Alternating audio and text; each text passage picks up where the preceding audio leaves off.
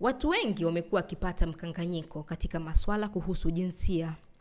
Kuona umuhimu wa kutambua mambo hayo, shirika lisilo la kiserikali Zanzibar Youth Forum wamekutanisha wakufunzi wa masuala ya vijana ili kuwajengea uwezo, mwisho wa siku waelimishe jamii.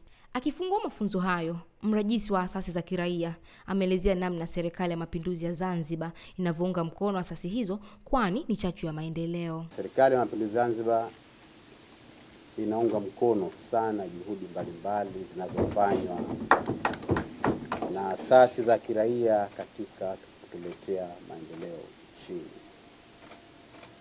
Mheshimiwa Rais wa Zanzibar na Mwenyekiti wa Baraza la Mapinduzi ameahidi kutoa mashirikiano kwa asasi za kiraia ili sasa serikali iweze kuweka mazingira mazuri, mazingira bora kabisa ambayo yatakuwezesheni asasi za kiraia kufanya kazi zenu vizuri kwa uweledi, kwa uhuru, ili lengo liweze kupatikana. Katika swala zima la kuangalia namna ya kuzitumia media ama si so kuweza kujengewa uwezo kutumia media, lakini katika utumiaji wa media tunazingatia pia masuala ya ajenda, ni swala muhimu sana. Sasa hivi mara nyingi sana tulikuwa tunasema kwamba jinsia ya kike tunaiweka nyuma katika masuala mengi sana.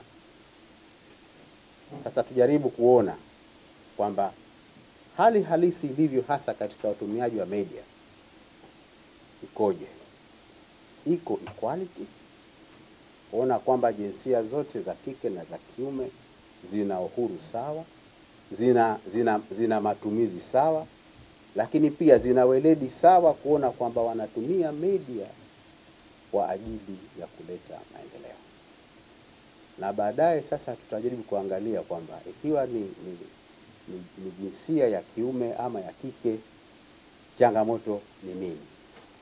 Lakini niseme kwa miaka hivi karibuni Watanzania kwa jumla wamekuwa ni watu walio mstari wa mbele sana katika kutumia hizi media, na kwa vile nao pia watu hapa wa Zanzibar Press watatoa nao club wanao watatoa nao pia information zao tofauti tofauti, lakini changamoto inakuja, matumizi haya ya media yanaleta matokeo gani chanya katika maendeleo sasa ya vijana wenyewe, katika maendeleo sasa ya nchi yetu. Matumizi ya media yanatoa meseji gani kwa jamii, meseji ambayo hatimaye tutakuwa sisi kama wanajamii tunafaidika. Sisi kama wanajamii tunaona kwamba meseji tuliyoipata ni meseji ambayo kweli imekuwa ni ya kitaaluma, lakini kweli imetusaidia katika kupambana kutatua changamoto zetu mbalimbali.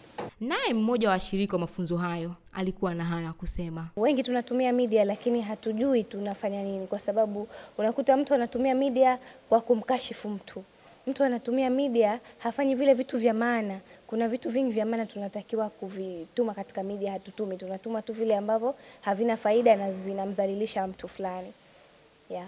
Na tunachokitarajia kikubwa ni kwamba watu ambao tunawatrain wataenda kupeleka ujumbe kwa wenzao vile ambavyo tumewatrain na vizuri vingine ambavyo wao wanavijua, na wataacha yale mambo ambayo hayafai. Na uzuri ni kwamba vijana tuko mstari wa mbele kutumia media bila ya kuwa na u, u, elimu ya kuitumia hiyo media. Kwa hiyo itakuwa inasaidia sana, kwa sababu tutapata faida kubwa. Kwa mfano tukiwa tuna tunazuia vile vitendo vya uzalishaji visitendeke, itakuwa ni faida kwa watu, kwa sababu watu wengi wanazailika na mwisho wanakata tamaa kabisa ya kuishi, wanajiua. Mtazamaji wa KTV TZ Online, ukisikia kuhusu jinsia unaelewa nini? Tuandikie maoni yako chini ya video hii, kisha usisahau kusubscribe, kulike na kushare. KTV TZ Online, hakika hii ni fahari yetu.